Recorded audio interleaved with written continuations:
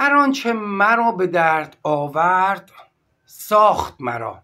رضا ابراهیمی هستم. دوستان گرامی در کلاس آموزشی محیط نگاری کانال یوتیوب کالج باستانی حاضر شدید و این کلیپ رو اختصاص دادم به یک جاساز. جاسازی که شاید اصلا نشنیدید.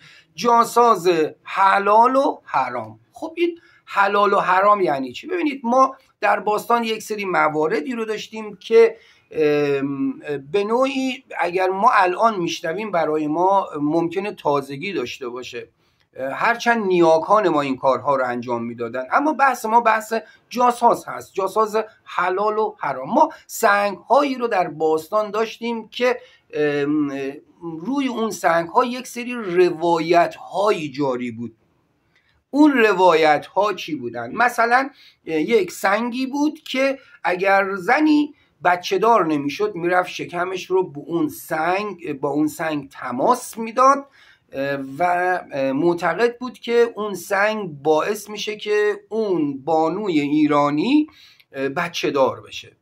خب ما مطمئنا اون سنگ می‌تونه برای امروز ما سنگ مهمی باشه. اگر بتونیم خود همون سنگ رو پیدا بکنیم. اما ما یک سنگی رو داشتیم که حالا خیلی بزرگ بوده از داخل این سنگ یک حفره ای داشته.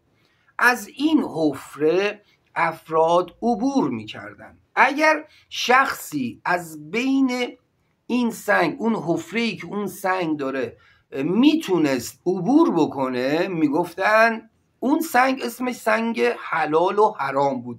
اگر اون شخص از اون حفره عبور می‌کرد اون شخص حلال زاده بود.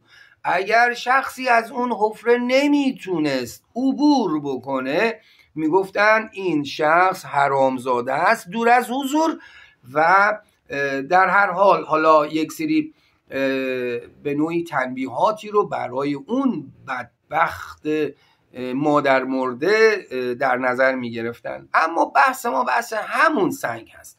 ما چنین سنگ سنگی رو داریم به نام سنگ حلال و حرام. این سنگ حلال و حرام رو آقسقال ها و پیرمردها و پیرزن هایی که در یک سکونتگاهی که الان تبدیل به روستا شده یا قصبه شده یا دهستان شده یا حتی شهر شده این افراد اطلاع دارند که این سنگ حلال و حرام کجاست.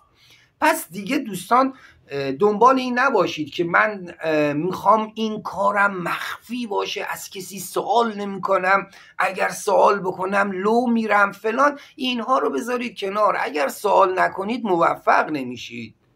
اگر تحقیق نکنید موفق نمیشید. برای اینکه شما موفق بشید محکوم هستید به اینکه زنجیره اسامی رو از بلندگاه تا پستگاه بدونید.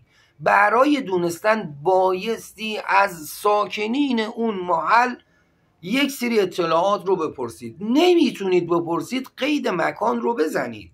من در طی روز افراد بسیاری رو دارم. وقتی سوال می‌کنم نام چیه؟ میگه نه نه نه. اصلا اسم نام رو نگیر. من اگر بگم اسم اون کوه چیه دیگه پدرم رو در میارن. اگر بگم اسم اون چشمه چیه میگن این آقا اومده دنبال گنج. این حرفا چیه؟ شما می‌تونید گوگل بکنید. می‌تونید از خیلی تلفنی سوال بکنید. می‌تونید به صورت واسطه در واسطه سوال بکنید. کسی اینقدر بیکار نیست که بیاد پیگیر این باشه که شما دارید در طی یک دقیقه چند بار نفس می‌کشید. پس دوستان گرامی این نام ها رو بدونید از ریش سفیدان سوال بکنید. هر چقدر تحقیقات شما کاملتر باشه بهتر می‌تونید اون مکان رو نقطه نهایی اون مکان رو پیدا بکنید. اون سنگ حلال و حرام سانت به سانتش بایستی با pin pointer یا پوین پینتر یا فلزیاب جیبی بایستی سانت به سانت اون بررسی بشه یا با dowsing روی اون رو بزنید. ببینید این داخل این سنگ چیز ارزشمندی دارد؟ اگر دارد باز شو. اگر ندارد بسته شو. در هر حال اینها رو می‌تونید امتحان بکنید تا نقطه نهایی جاساز سنگ حرام و حلال رو بتونید پیدا بکنید. دوستان گرامی مصدع اوقاتتون نشم خیلی و در پایان همه شما رو به اهورای پاک میسپارم. like و subscribe فراموش نشه. مهرتون جاوید و روزگارتون وصل آرامش و امید. بدرود.